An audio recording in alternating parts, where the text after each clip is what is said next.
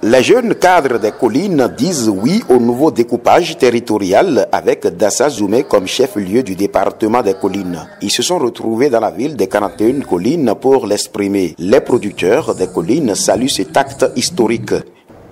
Nous, producteurs agricoles en général et producteurs de coton en particulier, nous prenons ce message de l'exécutif comme un appel à renforcer notre rendement, surtout cotonnier, afin de servir d'exemple et de repère. Même sentiment de gratitude exprimé par le représentant des élus communaux. C'est toutes les collines qui se trouvent être dans le challenge. Et c'est un gros challenge pour nous au niveau des collines.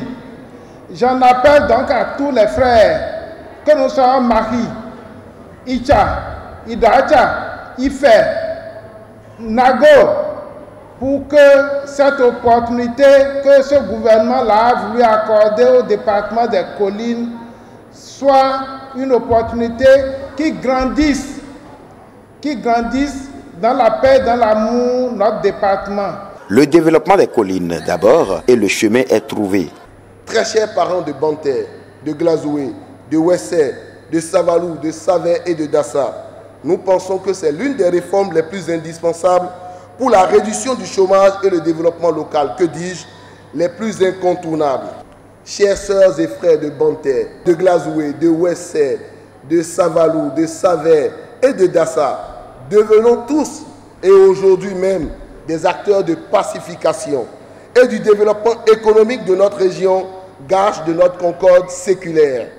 Changeons de méthode d'expression et de défense de nos intérêts.